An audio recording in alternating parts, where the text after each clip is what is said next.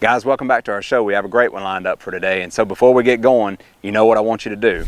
Go ahead and hit that subscribe button right down there. Go ahead. Did you get it? All right, good. I don't want you to miss out on all the latest content that we're dropping, so be sure and subscribe right now. I also want to encourage you to head over to powermechanical.com where you'll find even more content and boiler related information. You can sign up to receive our newsletter, get a quote on a rental boiler, a new McDonnell Miller, whatever boiler related your heart desires. So head on over there and check us out.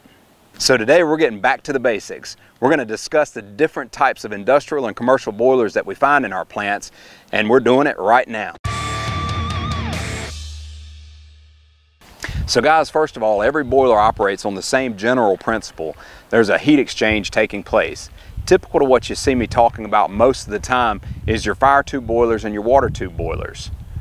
Now there is quite a variety of, of, boiler designs and concepts available in the modern day marketplace. While many of these designs and engineering advancements have evolved, the basic design and principles still remain. So first with the fire tube boiler.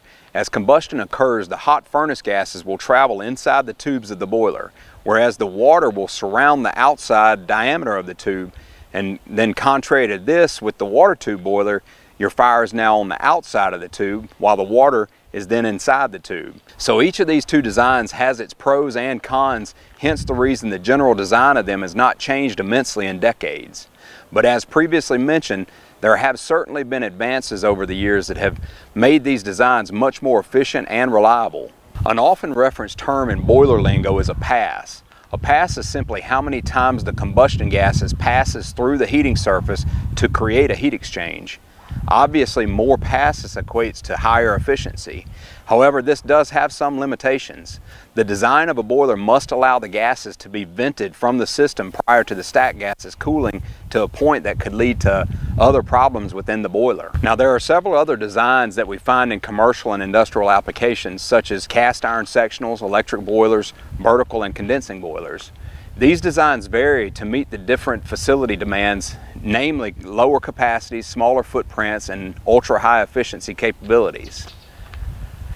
Now on the note of efficiency, it's important to mention that all boilers are designed to meet very high efficiency standards. How the boiler is maintained, operated, and monitored will dictate the actual efficiency that the unit is delivering. So now let's talk about the condensing boiler for a moment. With these condensing boilers, the stack gases that I mentioned earlier are actually being used to heat a secondary heat exchanger. You see smaller boilers with fewer passes typically will see higher stack temperatures simply because of their, uh, of their design. So it's essentially putting those BTUs that are otherwise wasted back to work, much like what, uh, what an economizer can do for larger systems. And now anytime that we can utilize energy to reheat or preheat, we are increasing efficiency.